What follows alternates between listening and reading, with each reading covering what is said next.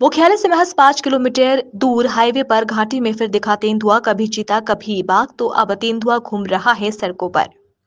खबर, कराहल से है, जहाँ कुनो सेंचुरी में तो आपको चीता और अन्य जानवरों के दीदार हो जाएँगे, मगर अभी कराहल घाटी भी इन जंगल के राजाओं का भ्रमण का केंद्र बन चुकी है। अब यहाँ आए दिन कोई ना कोई जंगली जानवर सड़क पर कदम ताल करता देखा जा रहा है। ऐसा ही एक मामला कल हुआ जब रात के समय घाटी से गुजर रहे कार सवार यात्रियों ने इस मदमस्त तेंदु को आराम फरमाते हुए अपने कैमरे में कैद कर लिया। और तो और ये तेंदुआ वाहन की लाइट देखकर भी नहीं भागा, बल्कि वही पत्थरों में बैठकर अपना फ़ोटो शूट कर पाता रहा।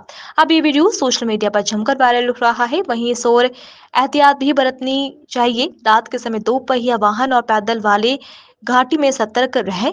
यात्रा करने से बचे, क्योंकि अब कराहल घाटी इन जानवरों की पसंदीदा जगह बनती जा रही है। देखिए कराहल संवाददाता अमित कुमार श्रीवास्तव की रिपोर्ट।